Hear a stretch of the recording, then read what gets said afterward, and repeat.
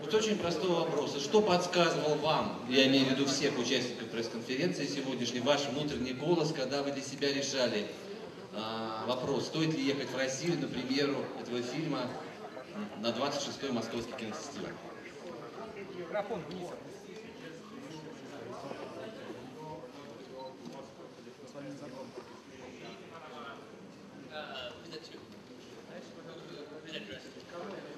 Всем, кто у нас All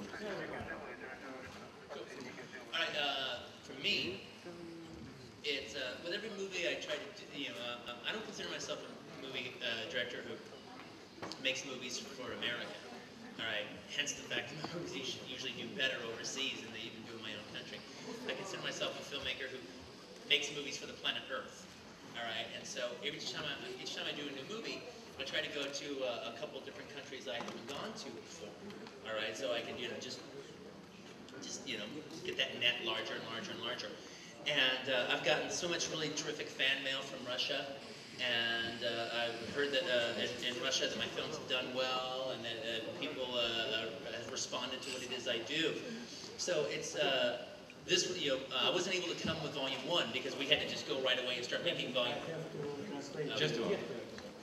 А, Честно говоря, я не считаю себя режиссером, который снимает фильмы только для Америки. Если говорить откровенно, то часто мои фильмы прокатываются гораздо лучше э, за рубежом, чем э, в самой стране. И я каждый раз, когда э, выпускаю новую картину, стараюсь проехать две-три страны вместе с ней, чтобы посмотреть, как ее воспринимают там. И э, каждый раз для меня это открывает новые новые горизонты и помогает в следующей работе. So I wasn't able to come with volume one because I had to immediately go right into making volume two. So I just I just knew that uh, this time uh, this would be the time that I would come to Russia. And for me to uh, come to Russia with the film is basically my way of, of saying thank you for supporting my films. All right, and uh, I think the question was uh, what uh, they said. Please. yeah, yeah. So, uh, uh, well, okay. Oh, there we go.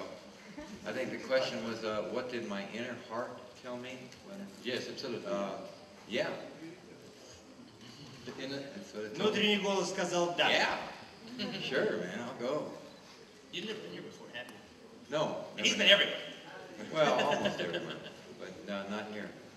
But I can't say that anymore. Что еще? Maybe Lawrence добавить? will add something. Lawrence, hit your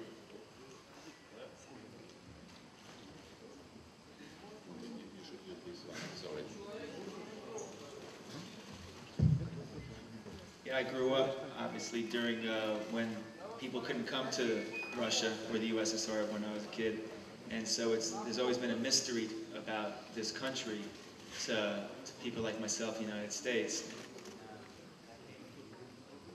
I came with a friend of mine a couple years ago to Moscow, and uh, I was so enthralled with the people, the food, the city, and uh, this is just a, a great opportunity to come back and, and what, what used to be a very mysterious and interesting country on the other side of the world became a friendly, a new friend, and I'm so happy to be here. Я э, вырос э, в те времена, когда нельзя было свободно приезжать в Россию, когда были всякие осложнения. И таким образом для меня Россия всегда оставалась некой загадкой, неким таким магнитом, который меня притягивал. И свое любопытство я тогда не мог удовлетворить. И поэтому для меня вот этот приезд, он очень много значит. Вообще я открываю для себя каждый день какие-то новые вещи, ваши люди, ваши города, ну в данном случае один город. Все, включая кухню, меня просто поражают, радуют, и я очень счастлив, что оказался здесь. Пожалуйста, я жду вопросов из зала. Лариса Малюкова, «Новая газета», пожалуйста. Секундочку. If you put on the earphones, you will hear the translation of the questions. It will be much easier for you. Наушники. Где там? Здесь нет наушников. Yeah, okay, no, that's good. No, no, no. Translate it. Yes, yes, yes. Лариса, пожалуйста. Добрый день, с приездом. По-моему, все счастливы, что наконец-то вы на нашей земле. Первый вопрос. А, Канский вердикт последний а, показал снова стремление кинематографа, а, почувствовал, показал стремление кинематографа стать больше, чем искусство, стать опять политикой повлиять реально на мировую политику мира.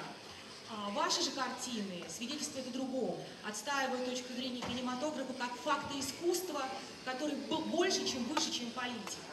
А Ваша точка зрения сегодня на этот счет, что вот для вас важнее?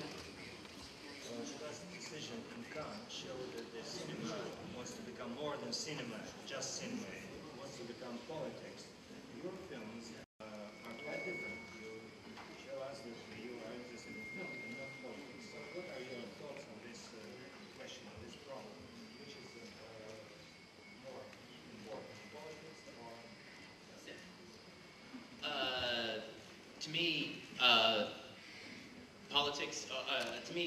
Cinema is so vastly more important to me than politics that uh, uh, they don't even equate with each other. Every once in a while, you can have uh, politics and, and cinema can cross over, and that can be really exciting and really terrific when it happens. But as far as I'm concerned, politics is the least important aspect of cinema. And cinema, uh, a film has to be a good movie. I was on the I was on the president of the jury when uh, Fahrenheit 9/11 won. If it hadn't been a good movie, it wouldn't have won. А, Для меня кино, кинематограф неизмеримо важнее политики. Для меня даже не представляется возможность сравнивать эти две вещи. А, Конечно, бывают случаи, когда политика и кино пересекаются, и вот это очень хорошо. Как вы знаете, я был председателем Канского жюри и заявляю со всей ответственностью, что фильм не получил бы а, пальмовой ветви, если бы это не было настоящим кино. Пожалуйста, Д- Дмитрий Десятирик.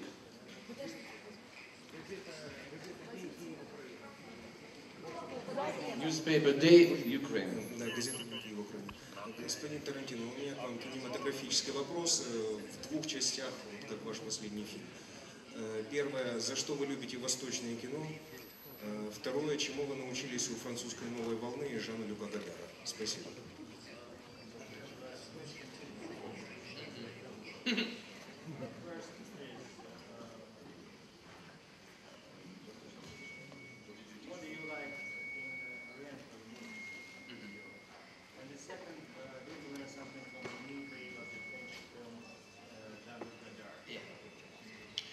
Uh, no, I'm, I'm heavily influenced by uh, Asian cinema. Uh, I actually think um, Asian cinema is some of the most uh, exciting cinema that's uh, currently being made, you know, pretty much for the last 20 years. Uh, between what was being made in Hong Kong in the uh, 80s and into the 90s, and now it's being made in Japan and in particular South Korea. All right, I actually think is like some of the most exciting cinema being made in uh, in the world of genre cinema. It's the most exciting cinema being made. This kind of hyper-violent uh, Japanese cinema that's being done, in particularly by directors like uh, Takashi Miike, and then uh, the films that are coming out of uh, uh, Korea right now, which I think is probably the most exciting, just on a pound-for-pound basis. The most exciting uh, cinema in the world right now is, uh, is coming out of uh, Korea. So I was very influenced by that.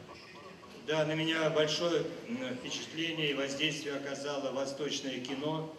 А, Я помню фильмы, которые снимались в Гонконге в 80-е, 90-е годы, и те фильмы, которые снимаются сейчас в Японии, э, Корее, в Японии, в частности, это Такеши Китано, А, они меня поражают своим обилием. Not Takashi Kitano, Да. uh, Takashi Miike. Такаси Миики. Вот. А, И, э, короче говоря, вот своим обилием насилия они производят на меня большое впечатление, и я многому-многому научился именно в восточном кинематографе.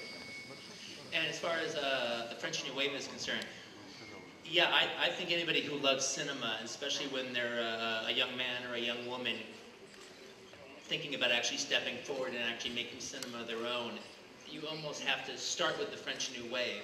Uh, both the French New Wave and who they were uh, influenced by. Whether it be uh, the, uh, the French director uh, Jean-Pierre Melville, who was a godfather to them, or uh, directors like Nicholas Ray.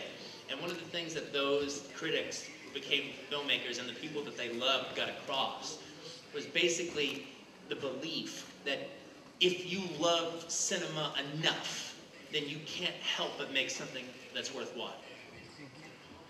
Да, действительно, я считаю, что м, э, каждый молодой человек или девушка, которые приступают к занятиям кинематографом, должны обращаться к новой волне, э, должны изучать э, персонажей этой новой волны и тех людей, которые на эту волну воздействовали. Это, конечно, такие люди, как Мельфильм, э, Мельвиль, как Рен. Они, как говорится, а? Николас Рей, естественно, они, э, естественно, э, воздействуют на сознание молодого кинематографиста и заставляют их э, выдавать все то лучшее, которое в них есть. Если ты хочешь снимать кино, ты должен обращаться к этой волне, и ты должен как бы пользоваться теми эм, идеями, которые она принесла в мир кино. The name of the production company Band Apart is not quite by chance. Uh, no, no, that was, uh, I, I was uh, almost um, embarrassingly influenced by Godard uh, right at the very beginning, and that was my favorite film of his, was Band Apart, so that's where the production company came from.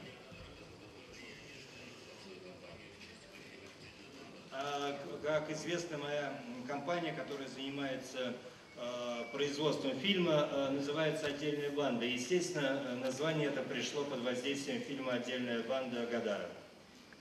Я слушаю дальше, пожалуйста. Так, э, сейчас.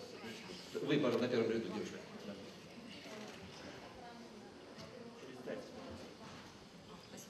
Александр Иванов, журнал «Ответь». Позвольте, во-первых, выразить вам восхищение вашим фильмом «Убить Билла» и мистеру Карадайну за великолепную игру. Вопрос такой. Скажите о ваших отношениях с российским кино. И мы знаем вас как мастера великолепных саундтреков. Вот нет ли у вас мысли в следующих ваших работах использовать какие-нибудь российские мелодии? Спасибо.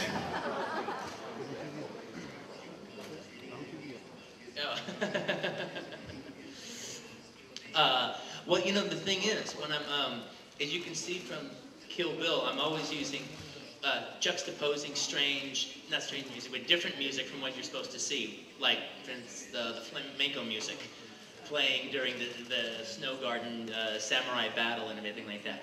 So it just happens to become a situation where I just have to hear the music, then love it, and put it in part of my collection. And then when I'm getting ready to make a new movie, then just dive into that again and just try to and, and just find the right kind of uh, uh, the right combination. So it's never like a setup thing. It's always I'm, I'm finding it as I'm writing the script or as I'm editing the film. So that could very well easily work out. I just need to get the right uh, uh, Russian composers that, for lack of a better word, ring my bell.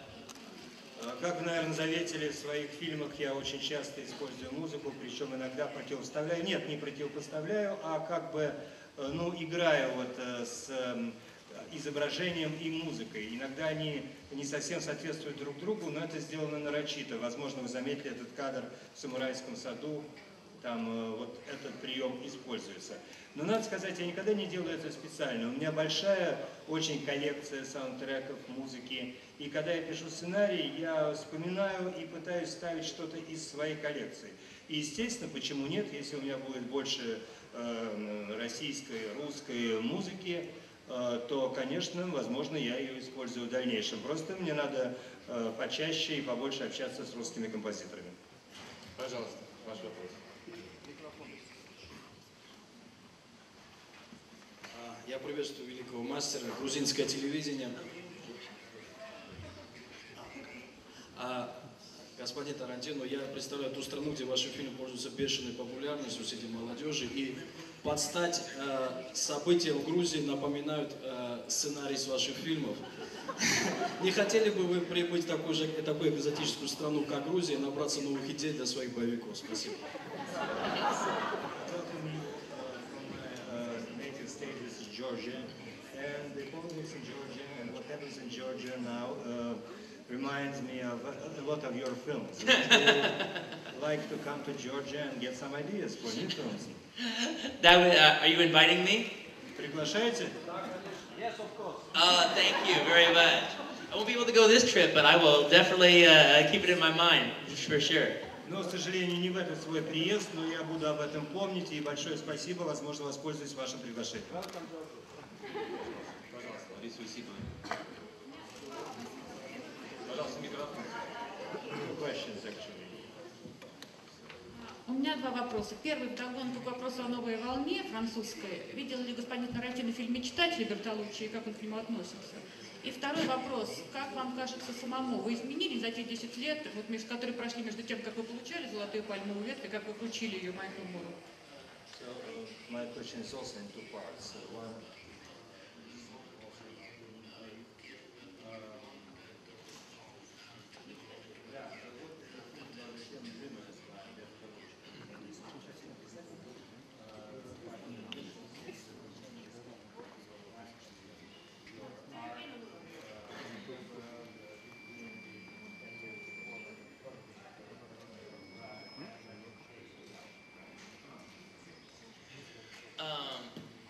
yeah, I, I, have to say, I haven't seen a, a, a Bertolucci's The Dreamers yet.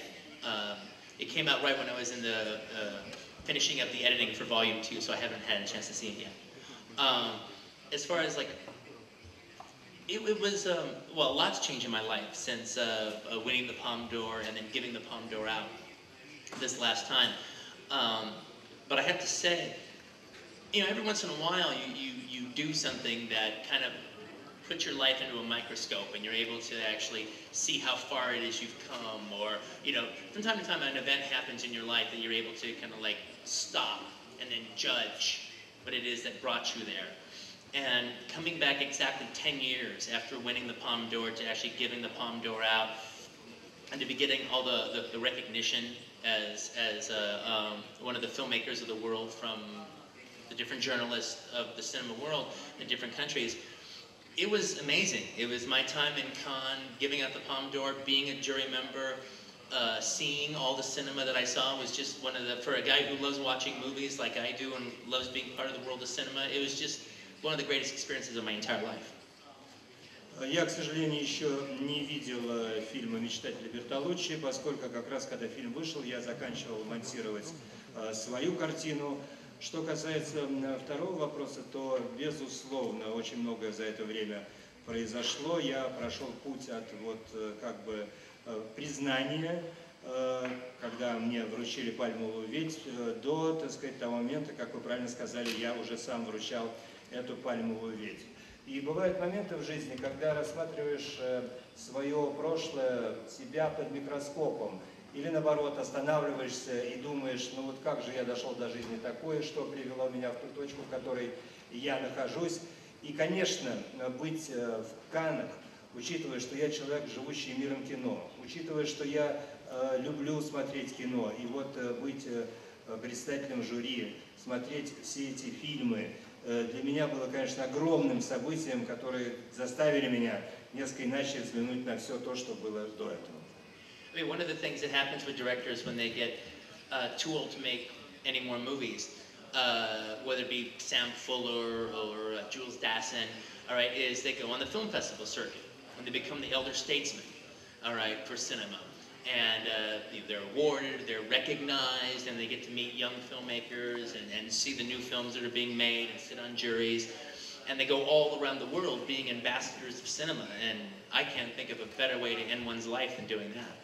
Ну и бывает такой период в жизни режиссера, когда уже то ли не хочешь, то ли не можешь снимать кино. И вот тогда ты погружаешься в этот фестивальный мир, входишь в жюри, ездишь по всем фестивалям, раздаешь награды, смотришь фильмы, общаешься с молодыми кинематографистами. Ну что ж, это не такой плохой способ закончить свою кинокарьеру. Становишься таким послом кино по всему свету. Хотел бы задать вопрос Дэвиду Карадайну. Я встречал э, ваше интервью в прессе, в которых вы говорили о том, что роль э, в фильме э, «Убить Билла», точнее «Убить Билла 2» вта- во второй части, стала одной из самых важных в вашей актерской биографии. Как вы могли это прокомментировать?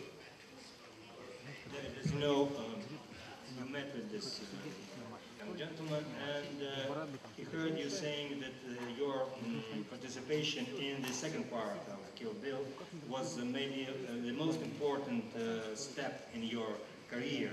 Uh, what do you think about this role? What it gave you, and what did you give to it? Well, yeah, um, it's, uh, it's a, a kind of work that I, I think that I've, well, I was gonna say I've never done before, but I've actually never done it in front of a, a big audience. Uh, I made a lot of movies that went straight to video, and I may have given performances that are close to Bill, but, you know, who saw them? Um, this, uh, this was a real gift for sure.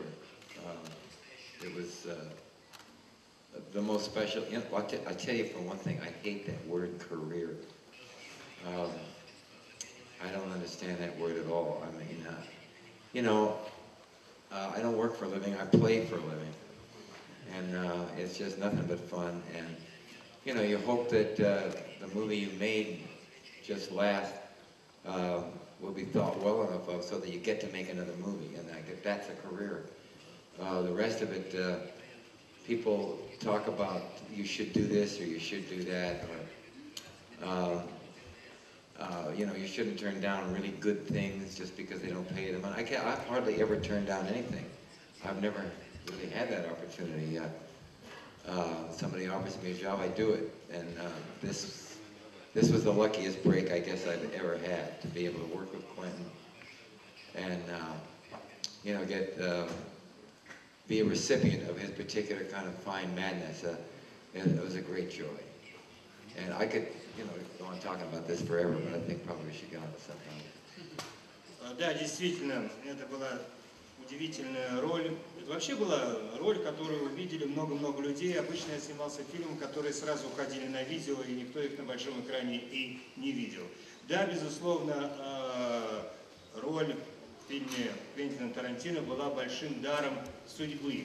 Я вообще не отказывался никогда сниматься. Что, что мне предлагали, я делал. Я ненавижу слово «карьера». Я никогда не работал ради карьеры, вообще не понимаю, что это такое. Я играю в фильме, стараюсь играть как можно лучше, чтобы меня пригласили на следующий фильм. Я не работаю ради того, чтобы заработать на жизнь.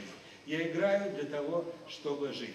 Еще раз повторю, что картина была удивительным подарком судьбы для меня, и я мог бы говорить об этом вечно, но думаю, нам надо перейти к другим вопросам. Утро. Пожалуйста, Виктор Матин давно тянет руку.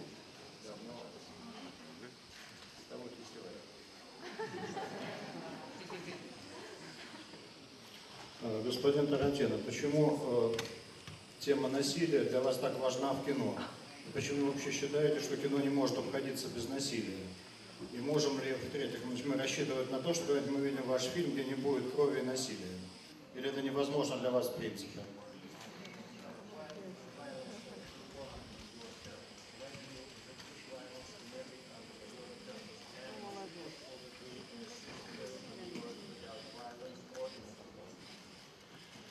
Um, well, I do genre movies, all right, and that's one of the components of uh, most genre films, all right, is uh, violence or action and all that stuff.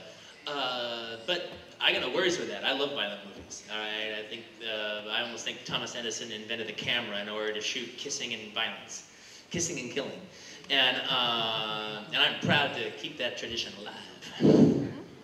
Э, Я снимаю жанровое кино, а насилие – это часть жанрового кино, э, жанрового кино, действия. Я люблю действия, я люблю насилие. И вообще я считаю, что Том э, Эдисон изобрел камеру для того, чтобы снимать две вещи – э, поцелуи и убийства, любовь и смерть. Вот это я и делаю, и ничего плохого в этом не вижу. I, one thing is that I just think there's damn few movies that the introduction of a gun doesn't make it a little bit more exciting. Вообще я считаю, что когда в фильме появляется оружие, это делает фильм более захватывающим и интересным. Литературная газета, пожалуйста. А, Нам сказали вчера, что господин Тарантино успел посетить э, музей кино, увидеть там э, костюмы для фильма Сергея Эйзенштейна, и что он собирается посетить могилу принца Пастернака, Бориса Пастернака. Поэтому вопрос такой, мы не могли бы рассказать о своих отношениях с русской литературой, почему именно Пастернак и, естественно, об отношении к русскому кино. Спасибо.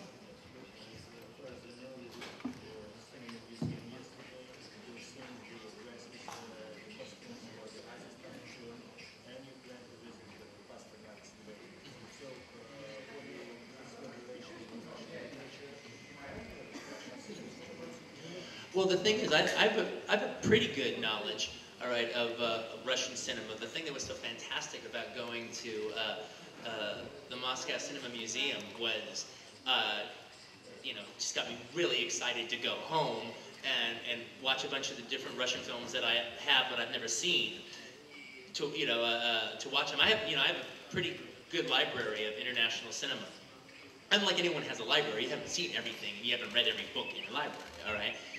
And so just being in a place that just that's all about Russian cinema and Soviet cinema got me really excited. And part of the fun thing of, of being a lover of cinema, whether it be about a certain director or a genre or a country, is you get on a kick. And after you get that kick, then you want to see a bunch of Russian movies, all right? And I'm on that, I'm officially on that kick right now. Э, Действительно, я вчера посетил э, музей кино, увидел э, все эти замечательные м, плакаты, все связанное с русским, советским кино. И это дало мне такой толчок, импульс. Э, В моей коллекции много русского э, кинематографа. Ну, вы знаете как, вот у вас э, библиотека, вы же не все книги читали, не все смотрели. И вот как бывает, когда ты знакомишься с э, национальным ли кинематографом или с каким-то жанром, ты получаешь вот такой посыл, э, желание пересмотреть заново или посмотреть новое кино, которое ты раньше не видел. И вот я сейчас, как говорится, вот на таком посыле, на таком, так сказать, толчке, и я держу его в себе, чтобы приехать и окунуться просто в российское кино. Uh, uh, one more thing about that though, is the fact that it's one thing to see something on videotape, or it's another thing to see something in a museum, but to actually be in a room where you're like right next to the actual costumes for uh, Ivan the Terrible, you're right next to the original drawings for this film or that film, or you're right next to Eisenstein's camera and everything. It manages to take it off of the museum wall and put it in your soul. I feel even more of a connection now between Russian cinema and, and myself, and I can't wait to explore that connection. А, Понимаете, есть, как говорят, две большие разницы. Иметь просто видеокассету, иметь возможность ее посмотреть и находиться в одном помещении, где стоят э, костюмы для Ивана Грозного, находиться рядом с камерой Эйзенштейна. Такое впечатление, что снимаешь эти экспонаты с музейных стен и помещаешь их в свое сердце. Они там остаются, их уносишь с собой. Вот такое чувство я испытал, посетив музей кино. And as far as uh, as far as Pasternak is concerned, I mean, there's, and this is not, I'm not saying this to flatter you all because I'm here, but there's not a country in the world that has more of a commitment to literature and to the written word, all right, than Russia. I mean, it's just hands down. I mean, just driving around Moscow, the little, you know, the little bit I've seen of it, all right, there's, you know, a big giant statue of a poet here, all right, Dostoevsky statue over there. I mean, you know, there's no statues of poets, all right, in America. There's not even statues of poets in, in, in England. There's no Keats statue in England. There's no Tennyson statue in England, all right?